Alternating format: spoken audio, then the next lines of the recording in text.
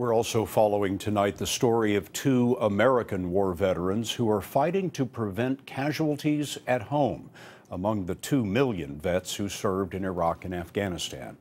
The VA estimates that 22 of those vets die each day by their own hand. Chip Reid now on a mission to defeat suicide.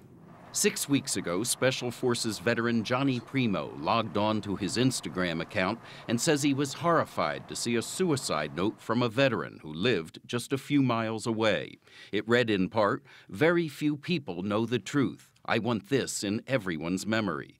Desperate to help, Primo tracked down his address. Find out that I was 45 minutes too late from him taking his own life. And immediately then, it was like a gut wrenching feeling knowing that maybe if there was a chance if he had my phone number that he wouldn't have killed himself.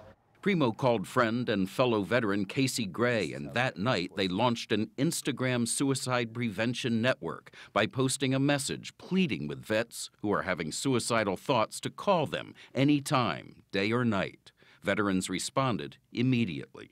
And within the first three hours, we saved one person. Within the first 24 hours, we saved five people. You mean people who were on the verge of people suicide? People were on the verge of suicide guys get to a point where they feel secluded and they isolate and they need to know that there's somebody still there for them.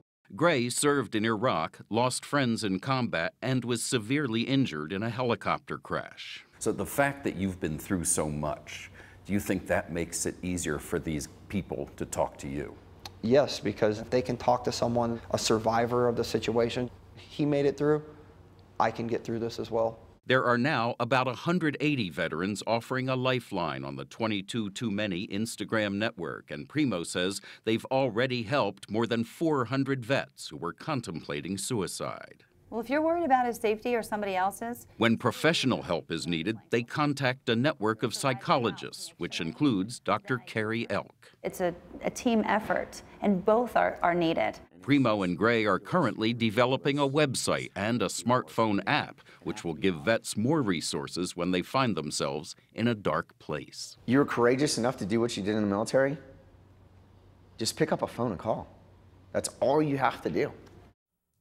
Veteran suicide risk is approximately 50% higher than the general population. And Scott, I asked Primo and Gray if they're in this for the long haul, and they said they're going to keep at it as long as there is a need. No vet is truly alone. Chip, great report. Thank you so much.